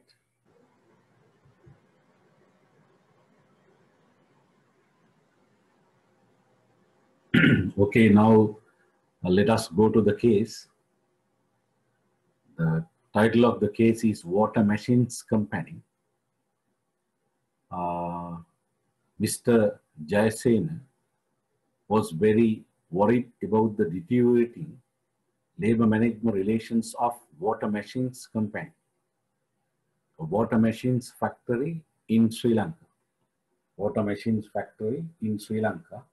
So deteriorating labor management relations. That means declining, becoming labor management relationship unfavorable. His father founded the firm in 1977. Since the owners lived in apartments over the factory, Mr. Jayasena had been acquainted, associated, you know, acquainted with the business from childhood. He had studied sciences and was interested in mechanical and technological innovations. He had worked on almost all of the machines in the factory and was thoroughly familiar with all of the technical processes employed. Okay, so he had worked on almost all the machines in the factory and was, you know, uh, able to get a thorough, complete, full, you know, familiarity with all of the technical processes employed in the company. Mr. Jayasena began working in the factory in 1970 when he was 20. When he was 20. So in order to keep with developments in the water machines industry, he went to Europe after having been working in the factory for six years. While in Europe, he had visited many factories and worked in a number of them. At the British Agricultural Development Department, he learned a great deal about the science of water machine and technology of making high power water machines. Whenever he came across a method or device which could improve efficiency and productivity, he sent a detailed description of it to the factory in Sri Lanka. So most of these innovations were adopted immediately and proven highly successful. So therefore, you know, after learning new things, you know, this person was used to send the details of, you know, uh, those new developments, you know, by asking them uh, to be installed, to be implemented. So then most of these innovations were implemented and then uh, became successful, highly successful. Mr. Jayasena returned from Europe with ideas of some tool making machines, which were not available in Sri Lanka, you know, at that time. So this case was based on uh, an actual situation. Certain uh, things, you know, I mean, certain details have been disguised, but, uh, you know, uh, certain uh, details are actual. Uh, anyway, you know, whether the case is an actual one or not, you know, is not that important for the learning purpose and for the teaching purpose. So you are supposed to learn uh, certain, certain things from this case, especially supposed to get a practical oriented understanding, practical oriented understanding. Yeah, because this is online setting, in the usual setting, you know, normally uh, you, you have to do this one. You have to read this case seriously, at least three times, and then you know, uh, in a group uh, way, in a group way, uh, it is possible to make presentations, and then uh, do criticism, comments. You know, one one group of students, you know, can present, another group of students can observe, another group of students can uh, make comments about the presentations. You know, a case sets out a problem. Case, you know, sets out a problem, at least one problem. So normally, a case gives several uh, problems which need to be settled, which need to be solved.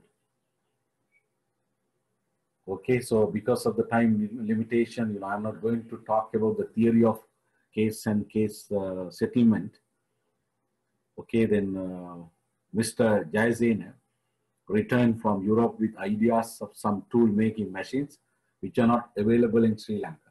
So he used these to develop more labor saving equipment. He introduced many ideas to the factory and remarkably improved both efficiency and productivity. These development saved the company considerably uh, in, a, in a material way consider considerably සැලකිය යුතු ලෙස එකැන mister ජිනසේන හඳුන්වා දුන්නු නොයකුත් අලුත් ක්‍රම නිසා ආයතනයේ කාර්යක්ෂමතාව නිෂ්පාදකත්ව ප්‍රඩක්ටිවිටි වැඩි වුණ නිසා මේ මේ නිසා සැලකිය යුතු ලෙස මුදල් ඉතිරි කර ගැනීමට ආයතනයට පුළුවන් වුණ Mr. Jayasena believed that the owner should be friendly and sympathetic with the factory workers. Friendly and sympathetic with the factory workers. He dressed in simple clothes and arrived at the factory punctually every morning. Going everywhere in the factory, he freely helped workers to solve technical difficulties and often worked machines himself. Sometimes he trained workers on new machines. In addition to giving advice about personal and family problems, Mr. Jinasena gave money to needy workers and visited them when they were sick. When they were sick. So therefore, Mr. Jinasena was, you know, friendly with the factory workers, also sympathetic with the factory workers. Whenever needed, Mr. Jinasena was Mr. Jayasena. Mr. Jayasena was, uh, you know, helpful whenever needed. Mr. Jay, Jayasena gave even the money to needy workers. Visited them, you know, when they were sick, when they were sick. Right. Mr. Jayasena believed in that he should live, he should lead a simple life in order to satisfy the worker's ideal. He thought of getting married, you know, two personal decisions, or the thought of getting married to a girl sharing such a view. He thought that the sight of ladies dressed in fine clothes and jewelry, riding in expensive cars, might make workers more aware of their poverty. In July 1999, workers at the company were were behaving boisterously, that means aggressively, and were making demands which Mr. Jayasena thought were unreasonable. Mr. Jayasena thought the wages in the factory were very reasonable and the bonuses paid were adequate. The company followed an open door policy for grievance handling. Open door policy for grievance handling. As a result of signs of this unfavorable condition, Mr. Jayasena decided to have a meeting with company accountant and marketing manager. I don't think we need to be, we need to worry about a union. Our company pays good wages and has a sound bonus program, said the accountant. Sure, our pay and bonuses are fair, but a union could promise our workers even more. Besides, workers don't always join unions for higher pay or bonuses. They may want a union as a pretext of company policies or simply because they feel being unfairly treated. Marketing manager commented. Okay, thus marketing manager commented. Well, if any supervisor is treating workers unfairly, they can tell me. I will take action quickly. Since management at this factory takes care of workers, I don't think workers should want to join a union. If they do, we should try to stop it before it gets out of hand. The owner added with little thought. Also, he said thus, I am certain that the union leaders are stirring, you know, provoking, provoking, stirring up resentment against injustice, which does not really exist. Several times I noticed union leaders of Sri Lanka Workers Union around the factory. I believed in that. The leader of the Sri Lankan Workers Union is trying to make money because he is unable to earn a living in the low profession for which he was trained. The meeting ended without any action or strategy for improving LMR, labor management relationship. In October 1999, the union officials promised workers higher wages and bonuses if they would join the union. They told the workers that the, the owners had been exploiting them. Surakana, exploiting them. By the end of the year, 107 workers out of 204 workers working for the company joined the union and established a branch in the company. So therefore, dear students, you, know, you are supposed to read at least three times. This is a case. To certain extent, a comprehensive case. Therefore, reading you know, this case for one time is not sufficient for right uh, study. For right studying, you are supposed to read at least uh, three times this case. So you have to understand what are the characters or the people involved in the case. And also you have to understand where is this, you know, uh, you know, what is the company, you know, relevant to this case. What does company do? So you have to understand. Okay, so this is a motor, you know, uh, this is a company which produces uh, water machines, not water machines, water machines. Okay, water machines company, right? Okay, then what are the questions? The first question, identify and mention the factors which have contributed to the decision of workers to unionize.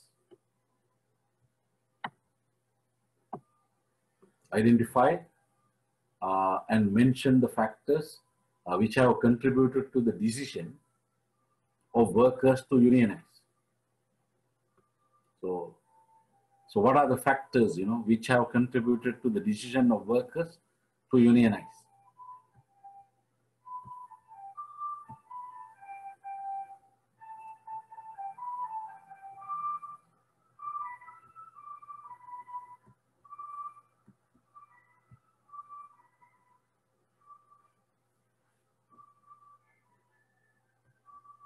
What is this?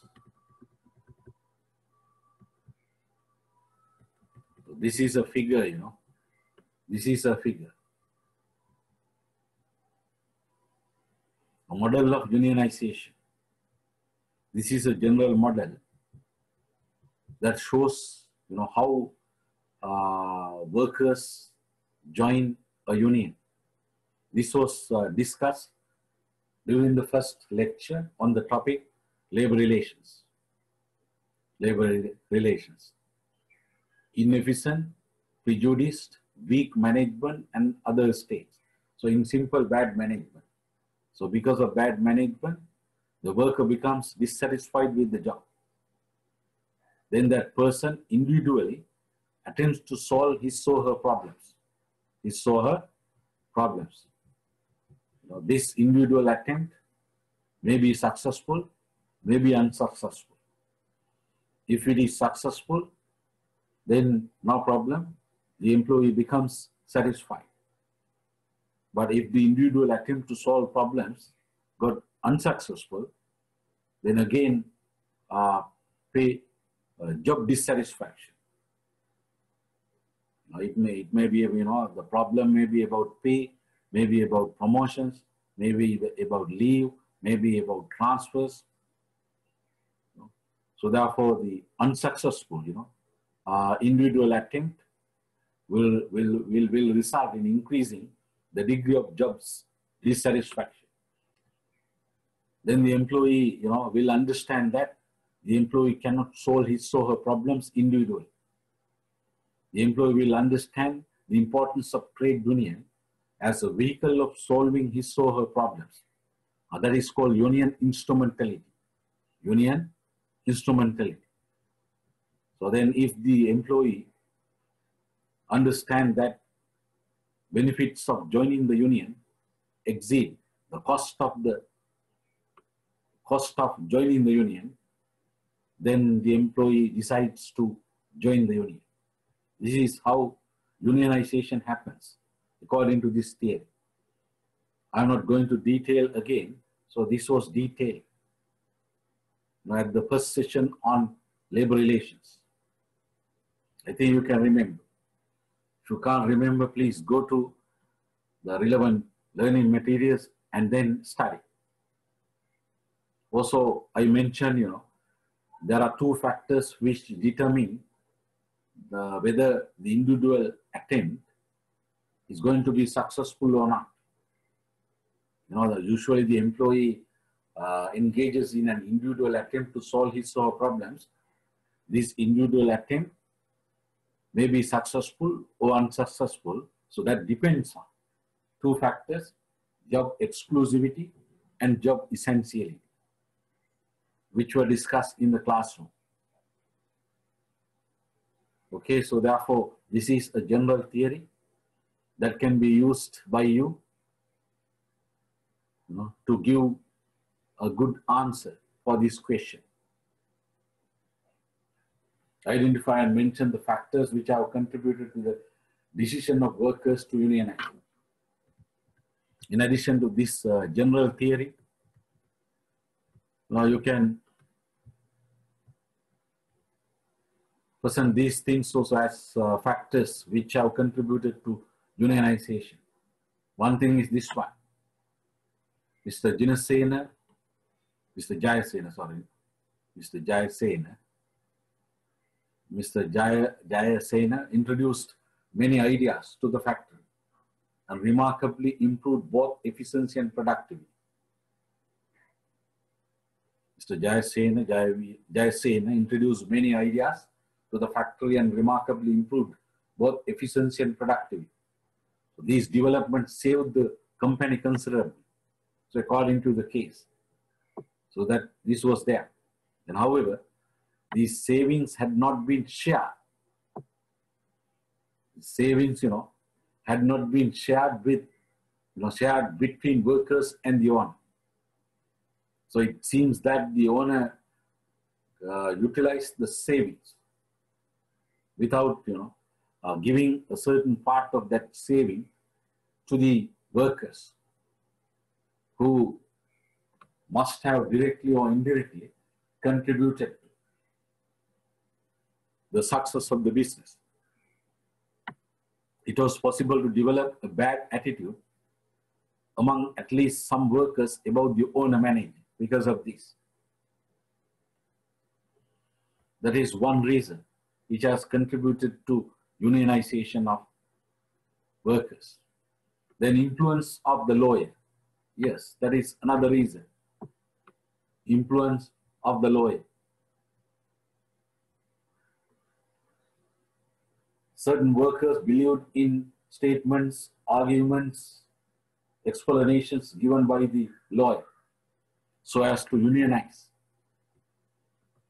It was about exploitation. Exploitation of the labor. It may be that Mr. Jayasena has not purposefully exploited the labor. But the trade union, you know, these, the, the, the, lawyer and, you know, the other people, you know, who worked uh, to initiate the forming of the trade union in this organization must have uh, persuaded the workers to believe in that they were being exploited That's why they, you know, uh, decided to join the union. So likewise, you know, you can give factors, you know, which have contributed to the decision of workers to unionize. So at the first session, at the first session, you must have learned, uh, you know, some other factors, some other factors uh, of uh, unionization. Can you remember them? Can you remember, you know, certain factors? So I think I taught you uh, certain factors given by Professor, the Harvard Professor of Industrial Relation, Professor Mills. One reason in opposition to management, unfair. Another reason to participate in union activities. Another reason to exercise leadership. Another reason, uh, it is because of social pressure. Another reason, compulsory unionism. So I told you at the first session on labor relations, uh, compulsory unionism is not applicable to Sri Lanka. So in Sri Lanka, there is no mandatory requirement for the worker to join a union. But anyway, social pressure is a valid reason. There may be workers you know, who join the union. Assume you are an employee who has not yet joined, but these friends or other workers may influence, persuade you to become a member of the union. Otherwise, they may tell you, you know, they are going to, uh, I mean, not consider you as a peer to them or as a friend to them, as an associate to them. They may even threaten that, you know, if you don't join, then we don't talk to you. We don't uh, exchange the relevant information with you. So likewise, you know, so these are you know, reasons uh, which may contribute to the decision of workers to unionize. So therefore, by using them also, you must be able to develop a rich answer for this question. Okay, now the second question, examine and comment Mr. Jayasena's uh, perception of LMR. Mr. Jayasena's perception of LMR being faced by the company. Jayasena's, in, in, in brief, you know, Jayasena's perception of LMR is narrow. Indeed, you know, he understands uh, labor relations as personal relations, as personal relations, you know, as, uh, you know, so his understanding is narrow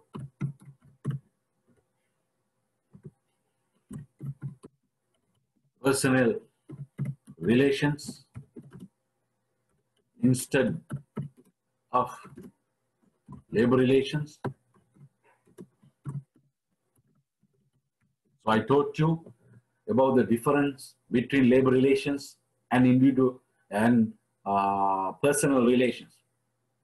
Alternatively, for personal relations, it is called as employee relations. Employee relations.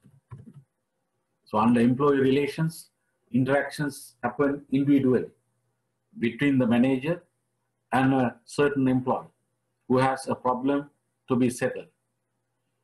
You know, if you are an employee, if you have a problem uh, about a promotion, about a transfer, about a salary increment, then you can present your problem to your immediate superior or human resource manager. Your intention is to get a solution for that, favorable solution for that. Then you and the manager will interact individually. Uh, that interaction comes under personal relations. But under labor relations, collective relations, there are trade unions. There are trade unions. So trade unions, you know, will deal with the management in order to solve problems. Uh, those collective relations come under labor relations. So therefore, uh, Mr. Jayasena's perception is narrow, not broad. So he pursued uh, personal relations instead of labor relations. He believed that uh, personally dealing with employees is enough. He believed only in that. But he, he couldn't understand that there is something called labor relations. Trade unions are there trade unions are formed uh, owing to several reasons, which I mentioned previously, relating to the first question. But they were not, it seems that they were not known by this honor manager. By this honor manager. You know, he, he believed that the owner should be friendly and sympathetic with the factory workers. This is okay. Then he's dressed in simple clothes and arrive at the factory punctually every morning. So what's this, know, what is the intention behind this? That is questionable. We have to question. Going everywhere in the factory, freely help workers to solve technical difficulties. This is okay. But when the organization becomes larger and larger, more complex, uh, this style, leadership style is not good. Because, you know, the, you know, the, you must have heard about a concept called management by exception. The top manager, you know, uh, should save his time, his effort, you know, in order to deal with more important issues like strategic management, dealing with the industry, dealing with outside things. For that, you know, there's a serious need of saving time and energy rather than dealing with, you know, day-to-day uh, things. To deal with day-to-day things, you know, the authority, the relevant authority has to be delegated to the uh, down managers, the respective managers. Who will do that? The owner is the top manager of the organization. Maybe that is good, you know, if the situation is small. The company has been developing, has been developing. We can often work uh, the machines himself. You know, sometimes he train workers on new machines. That is good. But, uh, you know, uh, training workers on new machines takes a lot of time, a lot of energy from the top manager. Why not, you know, appointing a human resource manager to do training and other relevant things with regard to managing people at work. In this case, it doesn't seem that there's a manager called human resource manager. It seems that there's no department, so-called HR department, led by the so-called human resource manager. Most of the human resource things, it seems that are being handled by this owner manager. When the situation is small, it is okay. But the, when the organization is becoming more and more complex, it is not good. Human resource issues become more complex, which require, you know, uh, certain technical competence in HR. In addition to that, uh, competence or understanding of labor laws. If they are missing from the owner manager, then most likely the HR decisions are going to be not sound. So in addition to giving advice about personal and family problems, Mr. Jayasena gave money to needy workers and visited them when they were sick. You know, this is also dangerous normally. So those workers, you know, who were who were perceived by Jinasena not as needy workers, then they were not given money. Those workers, you know, may think that uh, an injustice was done to them. But there may be workers, you know, uh, who did not reveal their personal problems. Then they could not get money. But by seeing, you know, some other workers, you know, who were given by Dinasena with some money, are these workers who were not may misunderstand. Rather than, you know, uh, uh, personal dealings like this, it is good to develop a system of welfare, welfare administration, welfare management, which is a function of HRM. Because of this corona situation and our time limitation, uh, that topic, uh, we couldn't do that. Uh, labor relate, what is this, welfare administration. No, it, it is better to, you know, develop certain welfare facilities and then professionally, those facilities, you know, can be managed by using right policies, procedures, and rules. So that is always better than, you know, personal dealings. Mr. Jayasena believed in that he should lead a simple life in order to satisfy workers' ideal. This is not acceptable, you know. One should not live a simple life in order to satisfy the ideal of others. So assume, think, you are Jayasena. Are you going to lead a simple life in order to satisfy you know, the ideal of others? Most like, you know, I mean, it is not a good belief. You know, if you believe in a simple life, then in order to satisfy your ideal, you should lead that simple life. This may be interpreted as cheating, you know, as cheating. Then he thought of getting married to a girl sharing such a view. Perhaps the girl, you know, doesn't have, you know, such a view. I mean, the, the woman. He thought that the sight of ladies dressed in fine clothes and jewelry and riding in expensive cars might make workers more aware of their power. Examine, you know, peruse this, uh, this sentence seriously. onda mi pa nek šakala balani me vaki.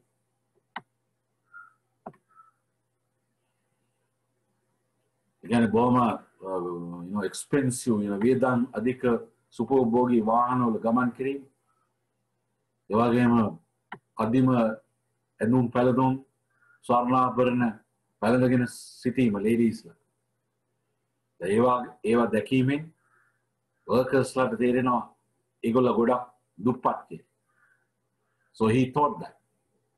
So therefore, definitely it's, it's most likely that, you know, or we can infer, you know, he must have uh, persuaded his wife not to wear fine clothes and jewelry, and also not, not to go in expensive cars. Who knows that she's unhappy? Who knows that, you know, she wanted to, you know, wear fine clothes and jewelry. But because of his, you know, idea of leading a simple life, and also because of his thought, is this, you know, uh, because of his intention not to make workers more aware of their poverty. He must have persuaded his wife not to do these things. More likely that the his wife also is not happy. If, you know, wife really wanted to, you know, dress fine clothes and wear, you know, expensive jewelries and, you know, wanted to have riding in expensive cars. So therefore, genuinely, this means that workers are poor. They are in poverty. So then this man is, you know, uh, this man knows that workers are poor. So if the man is genuine and genuinely interested in well-being of the workers, he should not do this one. In fact, you know, instead, you know, he could have, okay, he could have, you know, he could have, I mean, led a kind of, you know, moderate life at least moderate life. He would have led a moderate life instead of a simple life. Also, instead of a very luxurious life, moderate life. And then while leading a moderate life, you know, he could have helped, he could have started certain welfare programs to, to, to, to you know, help workers to reduce their poverty.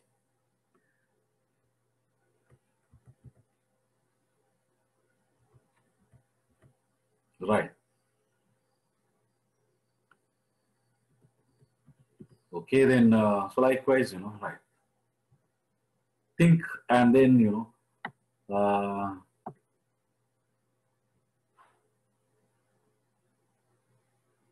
okay, then, uh, third question evaluate the policy of grievance handling being applied by the company, suggest an appropriate policy and procedure grievance handling for the company. So what is the grievance handling policy or method being followed by this company. Okay, go to this paragraph, in the last sentence. From this, you can find the method. The company followed an open door policy for grievance handling. Then you have to discuss, you know, uh, disadvantages of open door policy. So this type of policy, you know, so what do you mean by open door policy? Any grievant, you know, with his or her problem, now is allowed to meet the chief executive officer of the organization. Here in this case, Mr. Jayasena. Then any grievant, uh, any employee with the grievant can present his or her grievance to Mr. Jayasena. His, you know, I mean, the, the door of his room is open to anyone. Anyone. That's the meaning of open door policy. But when the organization is getting bigger and bigger, this policy, uh, you know, is, you know, is, I mean, the soundness of the policy is going down. Appropriateness of the policy is going down. You must have learned about uh, certain methods of grievance handling, open door policy, ombudsman, quasi method, counseling, counseling, uh, formal grievance settlement procedure, formal grievance settlement uh, proceeding. Okay, so then you must have learned that the best method out of those methods for grievance handling is formal grievance settlement uh, proceeding. In some cases, it may be a combination of formal grievance settlement procedure and grievance committee consisting of uh, several right uh, managers. Okay, so uh, the policy of grievance handling, then you know you can suggest the program like this. This is an example of the sound grievance settlement proceeding. An example of similar nature was taught at the first session on labor relations to you. Okay, there are certain steps, and as the first step, the grievant and the immediate superior.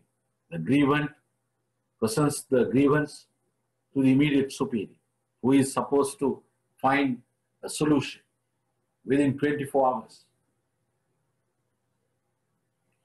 If the immediate superior cannot, then with his or her comments, the grievance is forwarded to the next level, where the immediate superior superior attempts to settle the grievance. The time limitation is two days. Within two days, the immediate superior superior should give a solution to the grievance. Assume the immediate superior superior also has no settlement. Uh, then it goes to the human resource manager, this level, between human resource manager and the trade union representative. Within four, four days, an answer is expected. Assume at this level so there's no solution for the grievance. It may be a promotion, it may be a new transfer, right? Okay, then uh, the highest level according to this example an attempt is made between the trade union leader and general manager to make a settlement for the grievance within seven days. Even at this level, if there is no settlement, then it goes to arbitration where an independent arbitrator participates in making a solution, in giving an award. Arbitration award, of course, which is binding uh, to you know by the to the both parties. Okay, so this is an example of a formal grievance settlement procedure that can suggest for this company.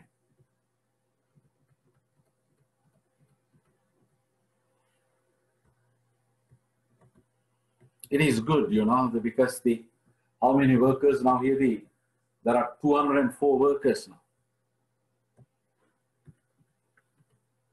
Right. Then uh, fourth question. Assume that the company has to reach a collective agreement with the union.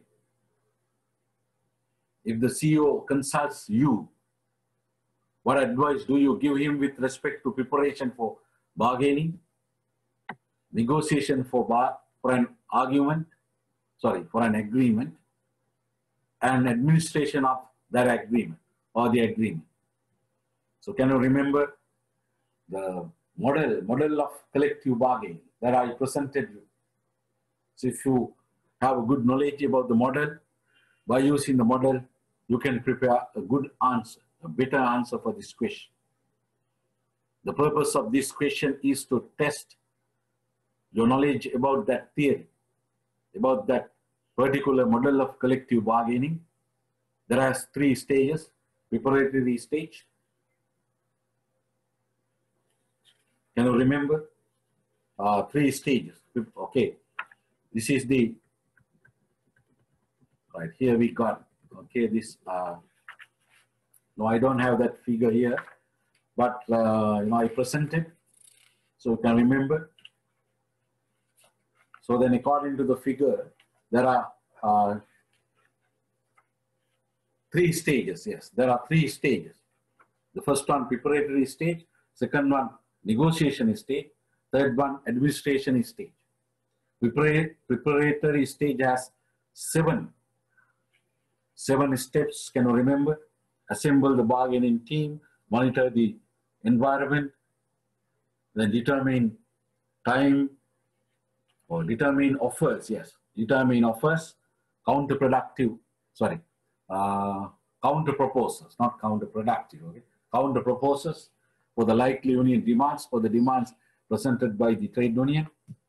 So likewise, you know, seven steps under preparatory stage. Then four steps under negotiation stage, which include discussion, reach an agreement, approve the agreement, and legalization. Then third stage is administration stage. There are three steps, communication of the agreement, adjustment, and ensure union and management uh, compliance. Okay, so then, right. So therefore, based on the model, you can prepare your course of consultation to the CEO Mr. Jayasena. Right. Then question five. Question five. Assume that the trade union enters a collective agreement. Collective agreement with the management which provides for a 20% wage increase and the management decides to grant this benefit only to 107 workers who are members of the union. Do you agree with the decision or not? Why? Okay, so assume you know there was a collective bargaining that resulted in a collective agreement according to which a 20% wage increase has been decided to you know grant uh, only to 107 workers who are members of the union. How many workers? You know, presently working 204 workers. Out of 204 workers, 107 workers join the union. Join the union. Not all workers. Only 107 workers. Right. So do you agree with this? of course, you know, uh, uh, you should not agree with. Not agree with. Not agree with. Why? Why? Several valid reasons can be given. One reason is this according to Sri Lankan labor law, you know, a privilege or a benefit, you know, like this, the 20% wage increase, you know, cannot be given to only a category of employees. If there is a privilege like this, or if there is an advantage like this, or if there simply if there is a 20% wage increase, that has to be paid to all workers. 200 and how many? 204 uh, workers. Yes, 204 workers. Not only you know to 107 workers who became members, the other workers also should be paid. Otherwise, it is illegal. However, however, a 20% wage increase, you know, to pay a 20% wage increase only to 107 workers you know, is legal if there is a categorical special mention in the collective agreement specifying that privileges or increases of this nature are applicable to or given to only members of the trade union. If it is there, then it is possible. Otherwise, it is illegal. Another reason, you know, another valid reason, what I call is a valid managerial reason. So if you, you know, if you give a 20% wage increase only to 107 workers who are members of the union, you are really uh, treating unfairly workers who have not yet joined the trade union. Why did they not you know, join the union? Because they were loyal to Mr. Uh, Jayasena. They were, they were, because they were loyal to Mr. Jayasena, they did not join. They did not join the union. So then, you know, you are going to penalize people, you know, or workers who had been loyal to you. You know, I mean, you means the CEO. CEO. Then another reason is, so if this wage increase is given to only 107 workers who are members of the union, most likely that will lead to other workers to join the union you know, then after joining, they also will be able to get this 20% wage increase. Okay, all right. Then question six. Question six. LMR should be cordial, or at least there should be no tension in the relations for the well-being of all concerned, owners, managers, and workers. Describe briefly four strategies that can be followed by the company for good LMR. Okay, these are some, you know, strategies. Four strategies, right? Joint consultation, formal grievance settlement procedure, information sharing, good policy and procedure for collective bargaining. Okay, so to a certain extent, then I analyzed the case by myself and gave the answers for the questions. But of course, you are supposed to, you know, understand the case. And even you can improve the answers that I discussed, the answers that I gave. There may be good answers, may not be you know, better answers.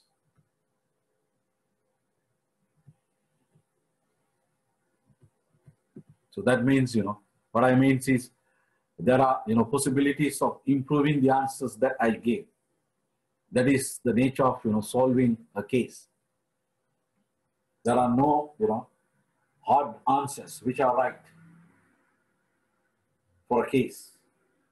Know, that is, you know, going to be true for every time. When the time passes, there may be new, new improvements under chart. New, I mean, better LMR uh, principles, concepts, procedures.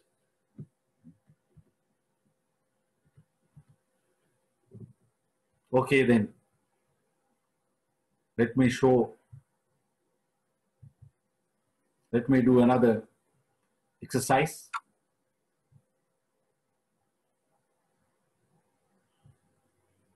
Have a serious look at this figure. What are you seeing? What are you noticing?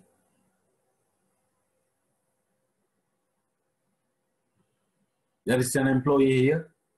It seems that who is in pain, Vedanavan Pelanaba of pain. Look at his face. Then there's another employee. No. Seems to be tired, exhausted. Most likely because of working. Look at his face. Not showing happiness, showing unhappiness. Then the middleman, who is this? Most likely the supervisor or the boss commanding, giving an order to this person. Regarding what?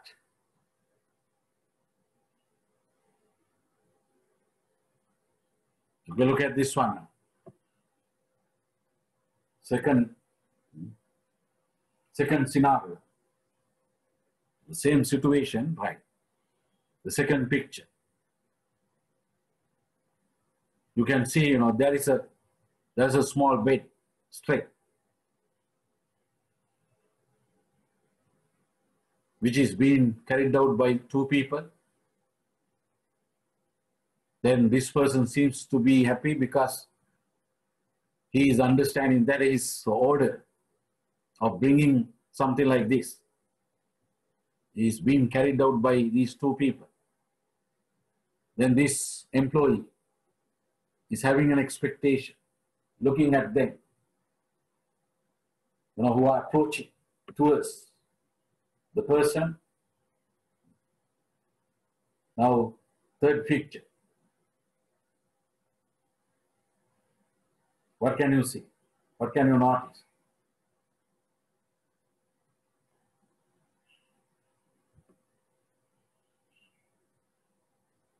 It seems that, uh, you know, this machine got broken. Then a certain part, you know, the boss is keeping here. Of course, for the purpose of repairing. Look at the man who was in pain. The degree of paining must be high enough. Physically first, then mentally. Mentally why? By knowing that, you know, by knowing that he is not being treated, he is not being considered. The, the, the, supervisor or the boss is not showing any concern of this man's pain. The supervisor is showing a concern of the work of the uh, instrument or equipment, not considering the employee who was in pain who is now, of course, who is in pain. No concern for the person, but concern for the work or the, the instrument. Look at faces of these uh, two workers. Seems to be, you know, seems uh, it seems that the person is having a kind of frustration, maybe anger, anger bad attitude, you know, is now generating within these two people about the boss because of the fact that the painful employee, the hurt employee, I mean, the person who got hurting, the pain, to be wounded, is being now ignored. The last picture of the uh, situation. The boss seems to be happy, indicating that the work is over. the problem is so, so I mean, the problem has been settled. Then this person is having, having a question. What type of boss he is concerned with the work and the equipment, not concerned with the employee. So if you know the situation is like this, it leads to dissatisfaction of workers. If there is no trade union, situations of this nature may lead to form trade unions. LMR is going to be bad. If there is a trade union, then these people, you know, may make a complaint to the trade union leader who will bring the matter to the attention of the top people. That is about unfair treatment given to the workers. No concern given to the workers. If there is no trade union, are then bad employee relations.